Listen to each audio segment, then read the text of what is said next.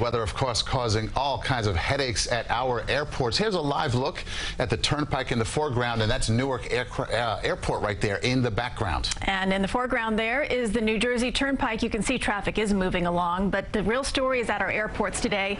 Let's go to Ali Bauman. She's live at Newark Airport with how the situation is shaping up there. Ali. Well, the lines are long and the patience is short here. The weather is causing lots of delays and hundreds of cancellations at all the major airports in our area for a second day in a row.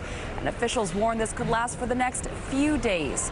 At Newark Airport is seeing 22% of its departing flights canceled this afternoon. LaGuardia has 27% of departures canceled, and that's 12% at Kennedy Airport. The arriving flights at all three airports are delayed at an average of two to three hours. The weather is being compounded by the overflow from delays and cancellations yesterday when 20% of flights were canceled in the New York area.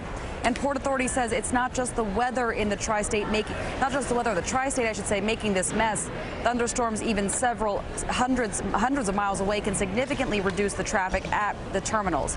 The Port Authority recommends that travelers check the status of their flights before heading to the airport, especially since Lonnie and Vanessa have mentioned that this weather could be lasting for the next several days. We're live at Newark Airport. Ali Bauman, CBS 2 News. Okay, Ali, thank you. And we have continuing coverage of the storms on our website. There you can always find the latest radar and updates from the CBS 2 weather team. It's all there for you at cbsnewyork.com.